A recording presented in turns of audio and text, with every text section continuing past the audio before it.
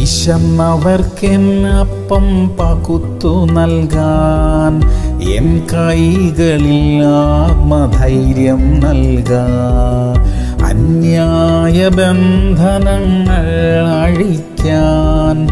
N കൈകളിൽ അഭിഷേകം നിറയ്ക്കാൻ. തളരാതെ ഓടുവാൻ അളവില്ലാതെ കരുത്തെനിക്കേകിടണേ. യോബ് മുപ്പത് ഇരുപത്തിയഞ്ച്. കഷ്ടത വന്നവന് വേണ്ടി ഞാൻ കരഞ്ഞിട്ടില്ലയോ? എളിയവന് വേണ്ടി എന്റെ മനസ്സ് വ്യസനിച്ചിട്ടില്ലയോ? സഹോദരങ്ങളെ യോബ് എന്ന ഭക്തനായ മനുഷ്യന്റെ വലിയ ഒരു സ്വഭാവ ഗുണത്തെക്കുറിച്ചാണ് ഈ പറഞ്ഞിരിക്കുന്നത്. കഷ്ടതയിലോ ദാരിദ്ര്യത്തിലോ ആയിരിക്കുന്ന ഒരു മനുഷ്യനെ കാണുമ്പോൾ കരച്ചിൽ വരിക. എന്തല്ലേ? അതുപോലെ ആർദ്രമായ ഒരു മനസ്സ് ദൈവം നമുക്കും തരട്ടെ. നമ്മുടെ മക്കൾക്കും അങ്ങനെയുള്ള ഒരു ഹൃദയം ദൈവം നൽകട്ടെ.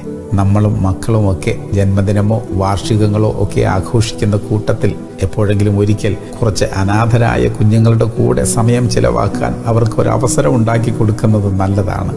ഭക്തനായ യോബ് അനുഗ്രഹിക്കപ്പെട്ടു. അദ്ദേഹത്തിന്റെ കുടുംബം അനുഗ്രഹിക്കപ്പെട്ടു. ദൈവം നമ്മയും അനുഗ്രഹിക്കും. പ്രാർത്ഥിക്കാം. മനസ്സലുള്ള ഞങ്ങളുടെ നല്ല ദൈവമേ കഷ്ടതയിലും ദാരിദ്ര്യത്തിലുമായിരിക്കുന്നവരെ കാണുവാൻ തക്കവണ്ണം ഞങ്ങളുടെ കണ്ണുകൾ തുറക്കണമേ. വേദനയിലായിരിക്കുന്നവരെ കാണുവാനും അവരുടെ വേദനകളെ മനസ്സിലാക്കുവാനും ഞങ്ങൾക്ക് കൃപ തരണമേ. അലിവുള്ള ഒരു ഹൃദയം ഞങ്ങൾക്ക് തരുന്നതിനായി സ്തോത്രം. യേശു ക്രിസ്തുവിന്റെ നാമത്തിൽ തന്നെ. ആമേൻ ആമേൻ ആമേൻ.